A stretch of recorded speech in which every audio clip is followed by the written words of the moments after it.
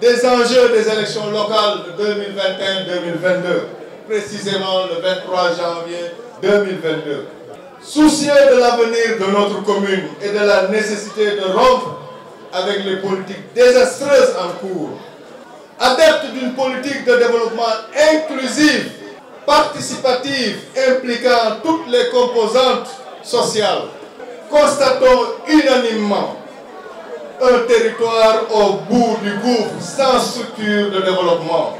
Le culte de l'enrichissement facile et illégal, une persistance du chômage, du sous-emploi et de l'insécurité.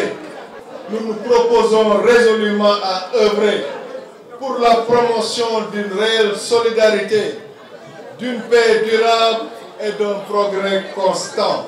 La mise en œuvre d'une politique adaptée à notre environnement social, l'appui à la santé, à l'éducation, au sport et à la culture, la promotion de l'emploi pour les femmes et les jeunes.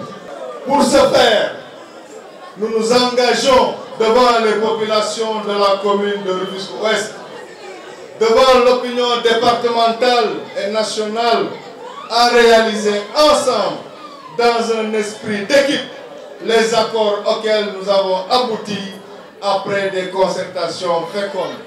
Élaborer une vision nouvelle pour un programme mobilisateur et performant au bénéfice de la commune de Rufisque-Ouest. Respecter les accords de constitution d'une équipe efficace autour d'une liste unique, crédible pour les élections à venir. Voilà en gros ce qui nous a motivés à organiser cette Assemblée Générale pour signer ce pacte dénommé Pacte d'engagement de la coalition Benno Bokayakar élargi à la mouvance présidentielle et aux forces vives de la commune de Rufisque-Ouest, dont le leitmotiv est bâtir une nouvelle collectivité.